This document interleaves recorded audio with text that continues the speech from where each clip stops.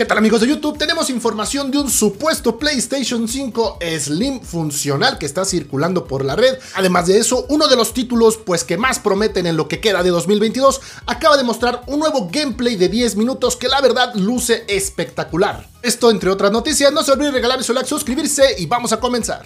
Y bueno, el videojuego Lego Brawl acaba de revelar su fecha de salida, se trata ni más ni menos que el 2 de septiembre, es decir, estamos realmente cerca de la fecha de lanzamiento, y para quienes no conozcan este título, se trata ni más ni menos que de un Smash Bros, pero basado en los personajes de Lego. Esto puede ser bastante importante, este título, pues la verdad es que no ha recibido demasiados reflectores, y de hecho están llegando varios títulos de este género, como el, pues el que la verdad se cree que va a ser el mejor de todos porque es gratis, llamado Multiversus, que como saben ya está en fases finales de desarrollo.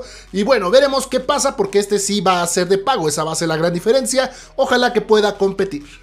Se ha anunciado además que la nueva actualización del videojuego Gran Turismo 1.09 va a llegar esta misma semana con tres automóviles nuevos, entre ellos uno clásico que va a ser el que tenga mayor velocidad final, lo cual lo hace bastante interesante. Obviamente esto entre algunas otras soluciones a diferentes errores que había en el videojuego y demás. Y pues bueno, si tienes Gran Turismo 7, se viene buen contenido. Bueno, el título llamado Evil West, es que es básicamente un Gears of War basado en el oeste combinado con demonios, la verdad es que se vio espectacular en un nuevo gameplay que estuvieron mostrando a partir del día de ayer. Y bueno, juzguen por ustedes mismos, se ve increíble este videojuego. La verdad es que nadie esperaba nada de él, pero miren nada más que gráficas. La verdad es que se ve que le están poniendo mucho, mucho cariño a este título y sin duda es uno de los más esperados de este año. En este nuevo trailer lo que pudimos observar es algo de la jugabilidad, además de la calidad de los detalles, tanto a nivel gráfico como técnico. La verdad es que siento yo que puede estar naciendo una nueva franquicia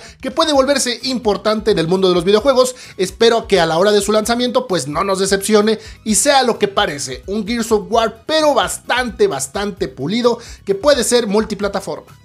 Y bueno, ¿cuál es el nuevo juegazo totalmente gratis para todos, completo para siempre, que no necesitas plus? Se trata ni más ni menos que de Fall Guys, que el día de mañana hará su arribo pues a todas las plataformas de manera absolutamente free to play. La verdad es que es bastante divertido, sobre todo si lo juegas con un amigo, puedes competir hasta con otros cerca de 100 jugadores. Y bueno, básicamente se trata de varios minijuegos donde se van eliminando los que vayan perdiendo, hasta que al final queda solamente uno con la corona de campeón este título, créelo, vale bastante, bastante la pena.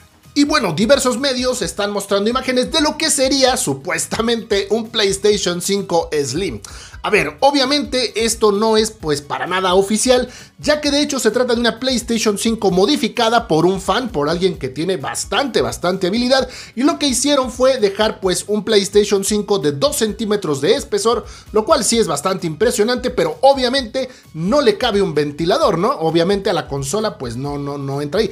¿Cómo se enfría esta consola? Porque la consola es funcional, la consola la puedes usar para jugar, pues resulta que tiene una estructura que es así, es bastante, bastante enorme que pues tiene lo que es el sistema de refrigeración a través de líquido y se conecta pues a esta estructura de PlayStation 5. La verdad es que, no sé, me pareció bastante rebuscada la forma en la que la modificaron, pero el hecho de que sea funcional lo hace interesante. Por si te lo preguntas, ¿PlayStation podría hacer algo así con su PlayStation 5 Slim oficial?